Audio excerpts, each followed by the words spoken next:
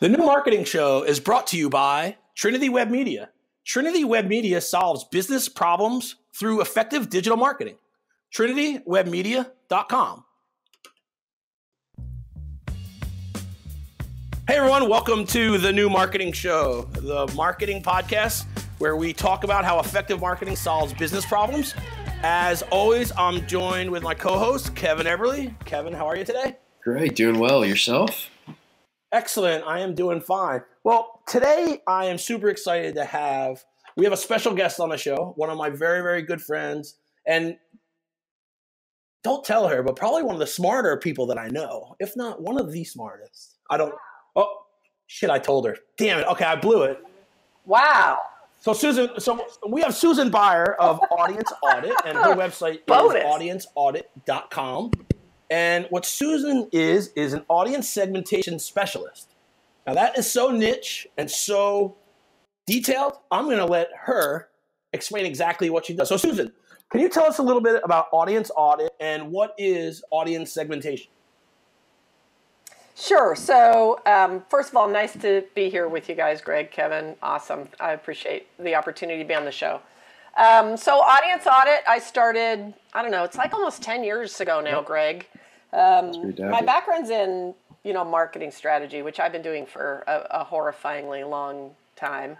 Um, but I but I started audience audit to really solve a, a, particular problem that I was seeing out in the marketplace, which is you know I I, I like marketers. I've always worked with marketers, um, but marketers you know have a reputation for going off their gut, you know, and and it can be a pretty well informed, well experienced gut but it's still gut. And especially when you're talking to sort of small to mid-size agencies who don't have maybe the resources of like massive corporations or these big New York agencies or whatever, when it comes to helping clients figure out like what their audiences are and how to build their marketing around them, a lot of times, honestly, kind of peek behind the curtain here, it's basically coming out of six to eight smart people sitting around a conference table and deciding what those audiences look like. Like deciding what's important to them and what matters and sort of how we're gonna how we're gonna structure our marketing for this particular client. And um, that's just you know and i've been in that room. I've i've led those discussions but it's not always the best way to make these decisions. And i think even as marketers we're sometimes not trained in in ways to think about audience that I think are fundamental. So it's not necessarily anybody's fault. It's brought up in the system and how we're trained, but um, but it's not that great. So I started audience audit to help customers really understand what is going on with the audiences that they care about, that they want to work with, that they're working with now or they want to work with in the future. And audience segmentation research is just a means to that end. Basically, it's a quantitative approach to assessing sort of a universe of people, or if you're B2B businesses, whatever that you sell to, and finding out within that group sort of what's going on between different populations in there. Because you and I both know, like, if you, you could take any group and not everybody feels the same way about things. And when you're specifically talking about making, um,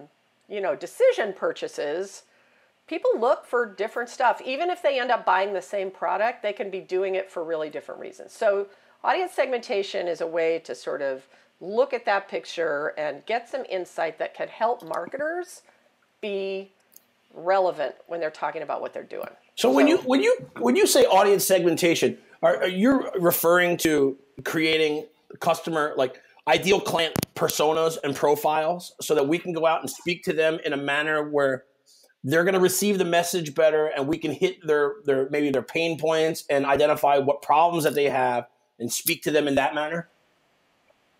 Yeah so so that's where this work leads. I kind of differentiate between audience segments and personas because to me personas are the next step. Personas are like this is who we want to sell to. And these people and this is how we understand them I'm back at the what does the landscape look like? And it may include audiences that you don't want to sell to, or that frankly are not likely to buy to you, or they don't align with your strategic objectives, or you know, whatever. So segments is just what what what the landscape looks like. Personas are a tool for going after the people that you as an organization feel are a great opportunity for you in terms of what they need, what you do well. Um, so it's sort of that additional that's additional step. But yeah, so agencies and marketers take the work I do, and then from there decide, okay, of of the landscape that's out there, these are the these are the personas that are of interest to us. Yeah. Um, so Susan, out of while you're while you're figuring out your segments, uh, you know, what are some of the things you're looking at, whether it be uh, demographics, interest, geo? You know, what what do you what do you use to yeah. figure out what that segment consists of? So everybody has a different approach to this because, there, as you can imagine, there's lots of different ways to chop up a population. You know, and and the way we were all taught as marketers um, really starts with demographics. You know, so women 25 to 49, you're looking at, you know, whatever. So that's demographic segmentation. That's what a lot of people use because that is the absolute easiest information to get about anybody. You know, you can buy databases, you can easily profile people on Facebook based on their demographics, you know, their gender or their age or you know those kinds of things. So that information is easy and you and you can see people on paper and be like, okay, I know what group this person is in. Okay. Another way that people go about segmentation is behavioral. So, what have you done? Did you click? Did you buy? Did you visit? You know what I mean? Those those kinds of decisions. And a lot of organizations have that kind of information in their database, even if they don't have demographic information sometimes, right? Especially now that people are buying online, right? You don't always know exactly who that person is, but you know how frequently they've bought or whatever. So you could look at things that way. Um, I don't do either of those. uh, yeah. Uh, Fantastic. yeah. Well, it's it's just a perspective I have, right? Like, and it's common sense, and it's so funny because I I don't know why it isn't more prevalent, but decisions based on those things. They don't make a decision because they're a woman or because they're a certain age or whatever. Like vast majority of decisions are made based on something that's happening between the ears that you cannot see on paper. So the segmentation work that I do is attitudinal, which means that we are looking at divvying up an audience based on right why are they here in the first place like what is the problem they are looking to solve um, how do they feel about this whole process? Like, are they super excited and feel confident that they know what they need to know to make this purchase decision? Or do they feel super sketchy and like I'm, I'm going to get taken advantage of because I don't know enough about this and I need some expert advice? Like, all of those things affect not only the decision they make, but where they're getting their information, what kind of information or um, influences are, are, are bearing weight on their decision. Um, the kinds of things they want from you if they hire you can be really, really different, sort of depending on where their headspace is with respect to all of this. You know, is this is this decision that they're going to make something they're super excited about, or is it basically a pain in the ass that they just have to check off a box? And and those things matter, you know, in decision making. So that's attitudinal segmentation, and that's the work that that I do. That's the work I believe is best for marketers who are developing content, who are developing messaging, and trying to be resonant with a particular audience. That's the stuff we need to know because honestly, nobody wants an email that's like, hello, woman 25 to 49. Like, that's not compelling. So, you got to find something else, right, to get people's attention to resonate with them. So. You, you know, I think that I think that I might prefer getting, uh, um, hey, male, hi male, uh, 40, to, 40 to 49 versus hello first name in a bad email. right? Well, first name's not a lot better, especially, you know, I mean, the, the, the, the, real problem is that marketers are making assumptions about people based on these demographics. And I, they are just, if, if you're wrong, which you are going to be with a certain segment of the, you have just shot yourself in the foot, you know? Um, because all it all it does is tell you that you don't care enough to really understand these people beyond something superficial about them. Yeah, and anytime you make a decision based based on gut and instinct alone, I think your instinct and your recommendations that you make to a client or a prospective client are always something can be argued in in that. You know, this is my experience. This is what I've seen in the past. But using your approach and you actually hit them with, you know, I, and I've seen your work. I know the the the, the deliverable. I've seen. I know the deliverable that your clients get. You know, they get a large report full of data. You can't argue with data. Yeah. You can, but you're going to. Well, you can, and people do. Um, but certainly, you know, I think it's important to the extent that you were able, right? And you guys have a small business. I've got a small business too, right? So it doesn't mean not everybody out there can drop 20 grand on, on doing research, right? But if you can, the insight will help you. It's going to get you closer to the bullseye when you're doing messaging and stuff like that, and it's going to keep you out of the weeds right? Because it's going to help you understand what matters to people and what doesn't, and you stop wasting your time and your money talking about stuff that's not helping you or may actually be hurting you. You know, sometimes we we find things that brands are saying that for certain segments, like that's bad. Don't say that. They don't. That's not helping you. That's working in the wrong direction. So, I, you know, I love that, Susan. And I do have a question, but before I do, I do want to comment on the gut. You know, making decisions with your gut. I've always thought there's three ways to make decisions in business: with your head, your heart, your gut hopefully 90% of the time those decisions are made with your head you know those when you're making decisions with your heart or your gut there's always room for error so i really thought that was insightful what are some of your prospective clients that you're able to help the most yeah so we work with all different kinds of organizations around the country and in fact we've we've got international clients as well and and some are big and some are small most of the work that i'm um, selling outbound, the people I'm really talking to is agencies, right? Because for me, um, what's really valuable is when organizations have somebody on board that they're working with that knows how to work with information like this and do a good job with it. And sometimes organizations want this information, but then they don't know what to do with it. So it doesn't get used, right? My, my personal preference is if we're all going to invest so much in this in terms of time and stuff like that, let's, let's make sure it's worth doing for you, right? So that, you, you know, you get something out of it. And I like working with agencies because invariably when I show this data to agencies, man, you could just see you could just see the fire light. Like they know what to do with this information and it drives incredibly creative ideas from them and stuff that they can execute on behalf of a client. But so, you know, my typical prospect is are, are, are small to mid-sized agencies who really want to stand out with respect to the competition they're up against. Um, be able to really support their recommendations with strong data, and as a result, have a much better hit rate on what's working for their clients, right? Than maybe the competitions that's just kind of throwing stuff at the wall and hoping. So um, it's not like the old days, man. Your client's looking at the same dashboard you are. So if you're not if you're not moving the needle, it's a problem for an agency. And so you know, my goal is really to sort of solve that. How can how can smaller agencies really have something to stand on and know that the work that they're doing is much more likely to have an impact in a way that the client is going to appreciate and, and, and stick around. And I imagine when you when you when you deliver the report and you have your debrief meeting with them, you know, when the light bulb goes off, I'm sure it's either a super creative mind saying, "Oh my gosh, we can do all of this stuff with this data," or conversely, you have somebody there saying, "Oh my god, we've been going down such the wrong road in the past. Now we have a, now we have a roadmap to, to towards success."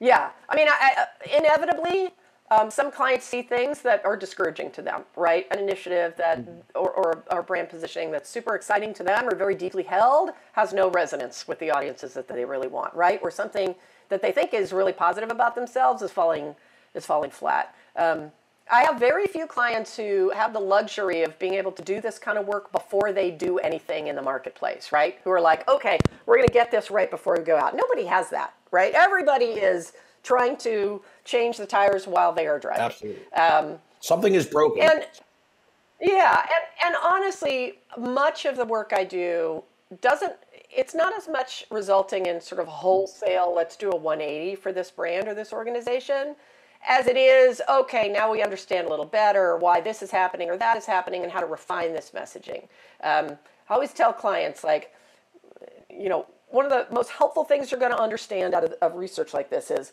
what is what appeals to everybody virtually anybody in your target audience that you would talk to like what do they would they all love to hear about and and would they find compelling what does nobody care about? So you should just stop talking about altogether because it's not resonant to anyone, right? And I have seen examples of that.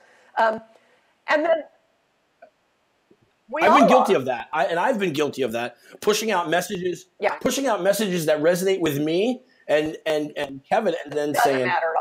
Right. Wow, well, these resonate with me and Kevin right, as business right. We all have that problem, right? We're all super clients, steeped in what we do, and we're really proud of it, and we're excited about it, and we want to go out. But sometimes we're saying things that just don't that just aren't relevant to the people that we're trying to sell to. And then you're going to find things that are really important to certain people and not to other people.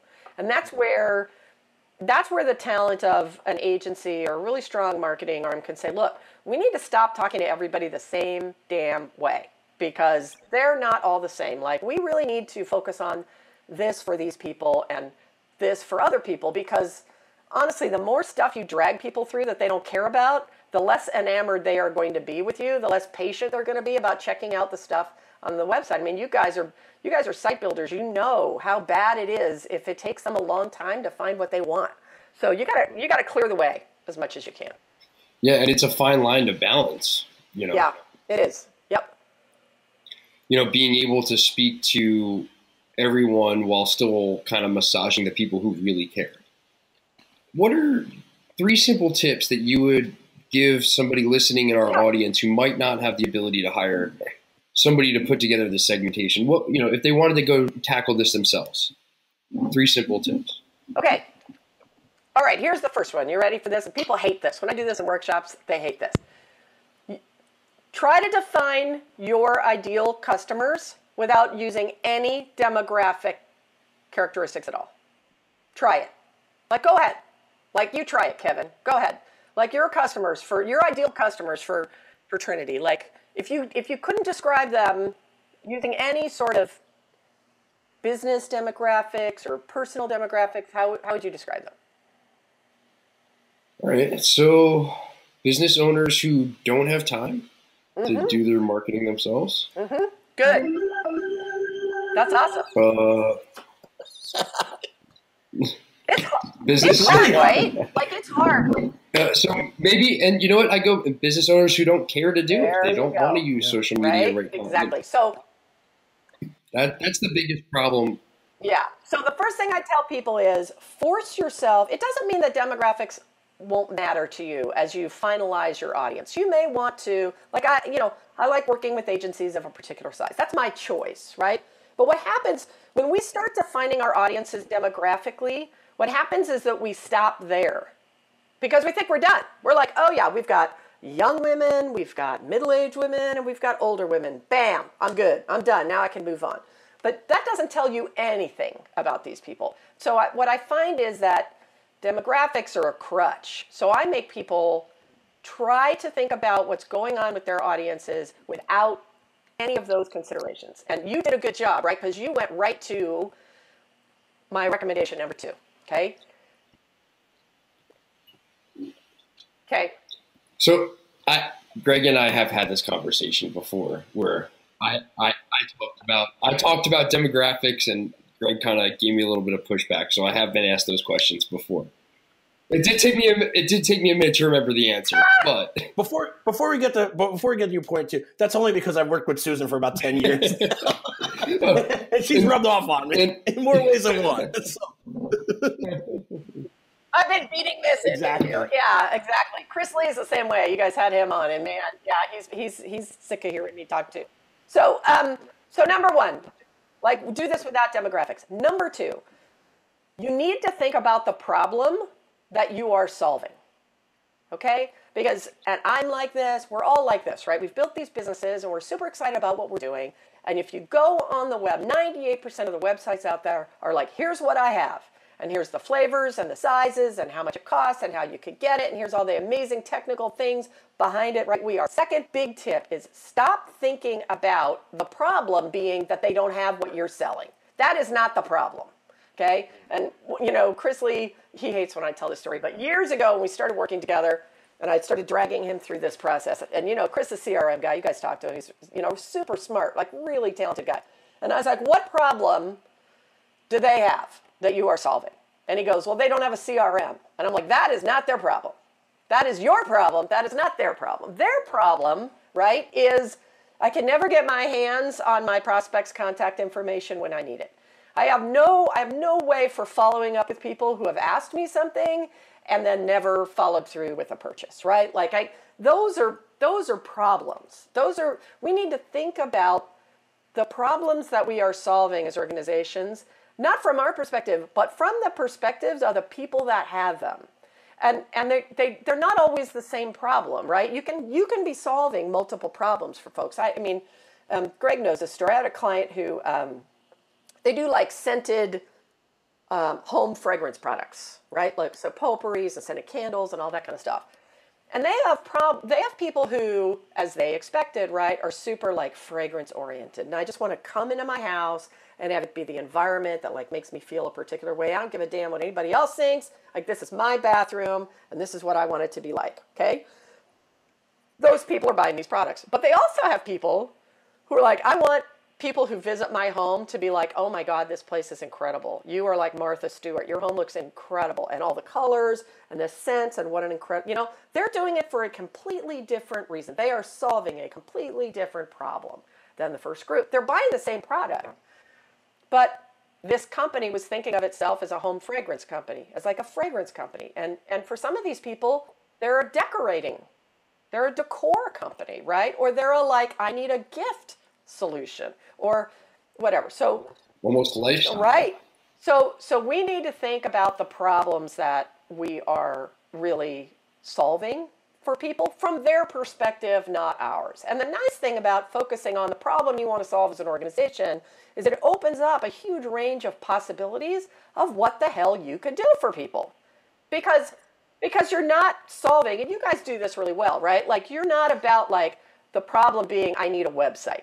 That's not the problem that you guys want to sell. And there are lots of folks out there that could solve that problem. Business is having, and how can we, given all of the tools that we know how to work with, help solve that problem? And so it opens up possibilities for you guys in terms of how you're actually helping beyond just we could build you a WordPress website, right? That'll cost you X amount.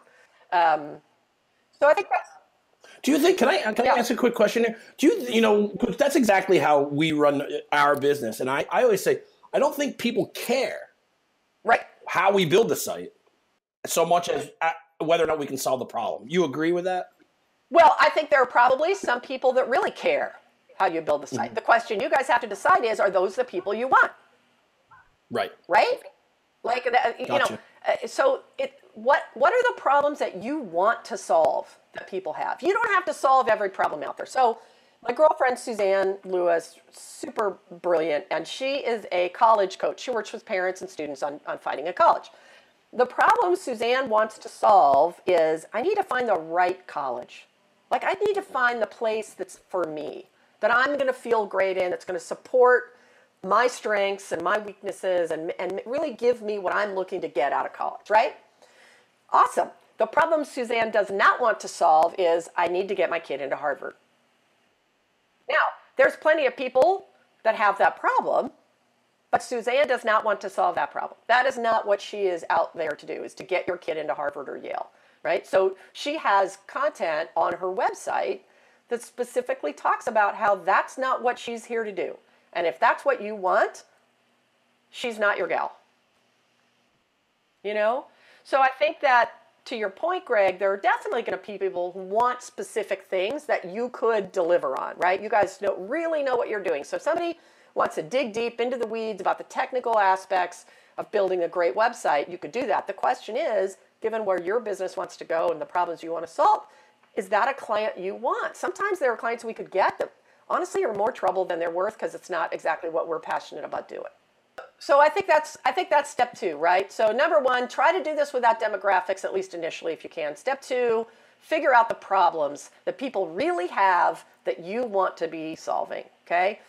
And the third piece of advice I would give is you've got to think about why they haven't solved the problem already. Because this is the key to your differentiation, right? This helps you figure out where you need to be what you need to be saying, who they are going to compare you to. So it's all well and good to have a problem. Why haven't you solved it? How many web shops are there out there? right? Lacking that they have not been able to resolve that you can. Now, if somebody's problem is that they can't find somebody to build them a website for $300, that may not be the problem you want to solve, right? But if if if the problem is, look, I I don't know that much about websites. I just got to fix this business problem. I can't get enough customers. I can't I need to have an easy way for people to buy my products online, right? So that I don't have to staff as the same way or like whatever it is. That's a problem that you guys specifically would like to solve. And you can probably, sitting here right now, if you think about the kinds of customers you want, the problems that they've struggled with, and why they haven't solved them, that last question is also defining for you as to which of these folks you want and which they aren't, you know, which aren't, right? Because that's that that's amazing. That's just amazing. I think that uh, my eyes have lit up with a bunch oh, of ideas, some, some stuff that Kevin and I need to, to handle. Years also. later, you can move away, but you cannot escape me, Greg. That's right. That's right. And for those of you don't know, that don't know, Susan and I used to share some office space in uh, at old Gangplank school. HQ down in Chandler, Arizona. When I when old school, old school. You know what's funny is like the, the yeah. more episodes we get in, the more we talk about Gangplank. I don't think one episode so yeah. one episode has gone by we have not mentioned Gangplank. Yeah, it was that instrumental in my yep. my life and Susan and you know, Susan's and Chris Lee and all the other knuckleheads that we throw their names out there once they're in a job.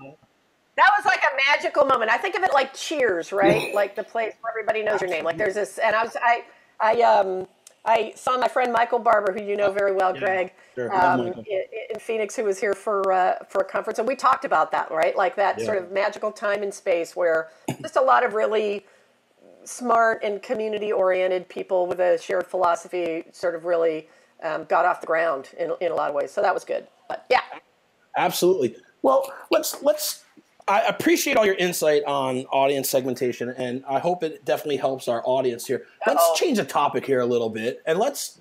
I want to take a moment. Trinity Web Media, we have our own okay. community initiative called Trinity Cares.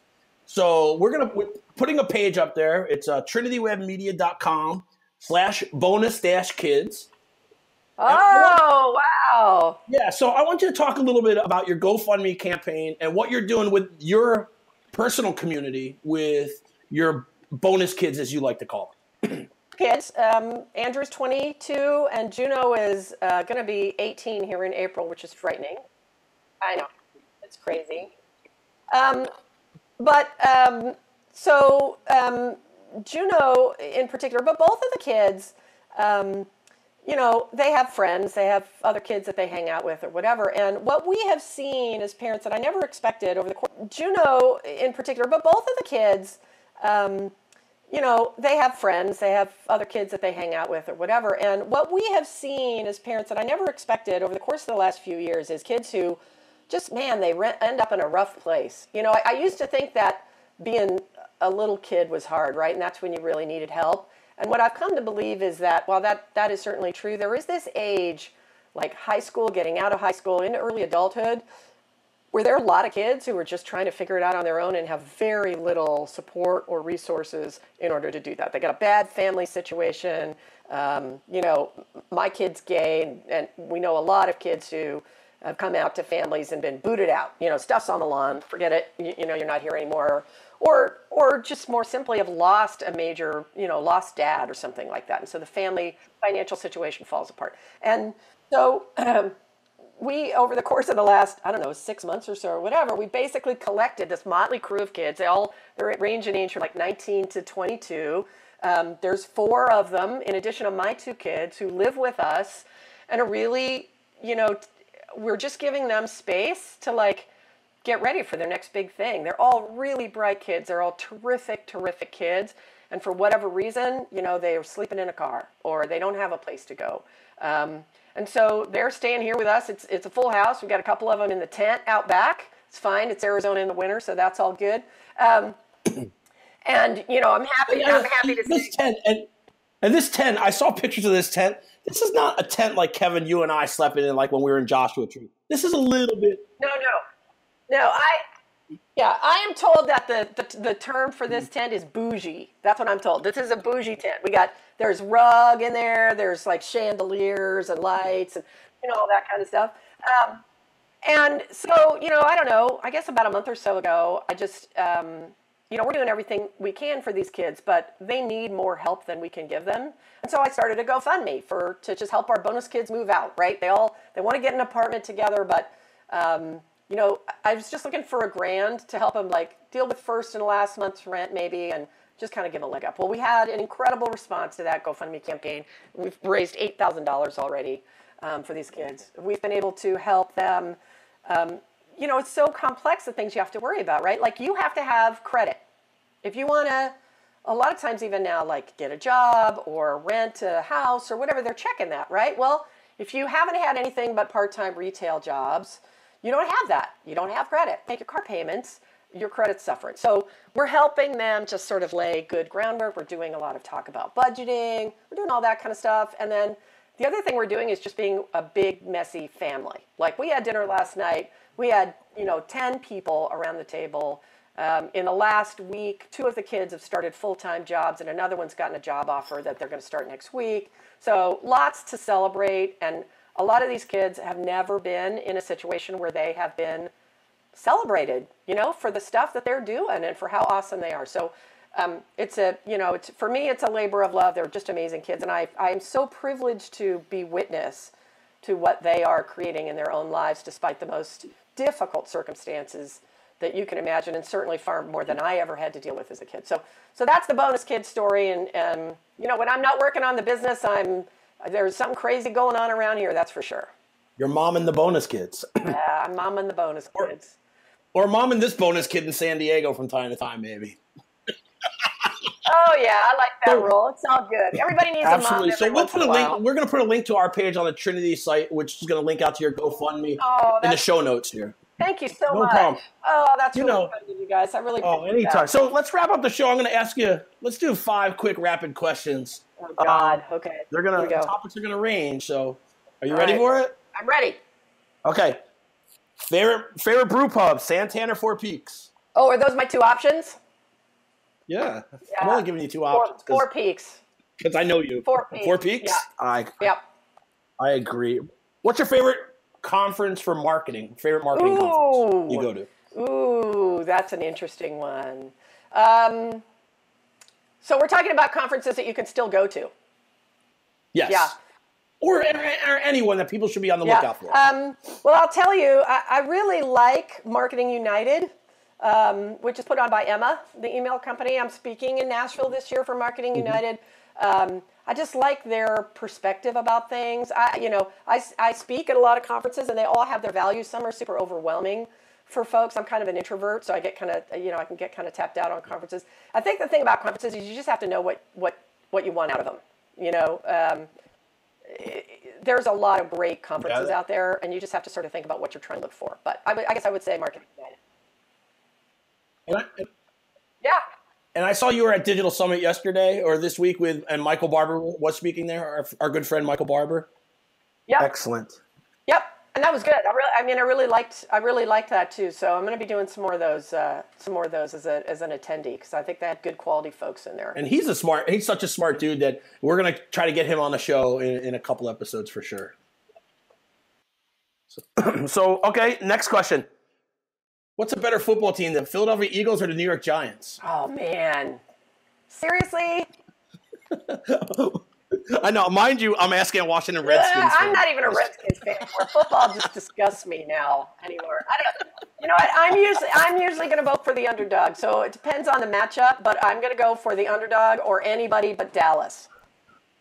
Okay, there you go. Spoken like a true NFC yeah, fan. Yeah. I love it. And then here's the last question: What's one takeaway you want somebody to to they can walk away from this episode with? What I want everybody to realize is that there is an audience for them. So many of us worry about how we stack up against the other competition, and there is an audience for you based on the problem you want to solve and how you solve it and why that makes you different than everybody else. And I think that we need to stop thinking we need to stop thinking about what my minuscule percentage of potential customers in the United States we're going to get and start thinking about how many of the people that are really our ideal customers we really need to pull this off. And it's not as many, maybe, as you might think. So don't get discouraged, but you got to find what makes your business different. And for somebody out there, I guarantee if you can show them that, they're going to say, Where have you been all my life? Excellent. Well, thank you so much for your time, Susan. I, I can't, uh, you know, I can't express how much I've learned today, and and just how fantastic, you know, I, and, and how much how fantastic I think you are. And oh, thanks, and, my you know, friend. and your family I, and everybody. I love talking about this stuff, and you know, it's always awesome talking to you guys. I'm so proud of what you're doing, and man, it's been a journey, right? It's a journey for all of us. It's a journey.